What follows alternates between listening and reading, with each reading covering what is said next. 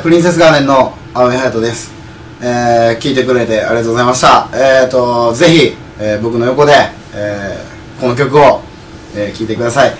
えー待ってます。で、お店の方にも遊びに来てください。たくさんの仲間と、えー楽しくできてますんで、えーみんなで盛り上がっていきましょう。ありがとうございました。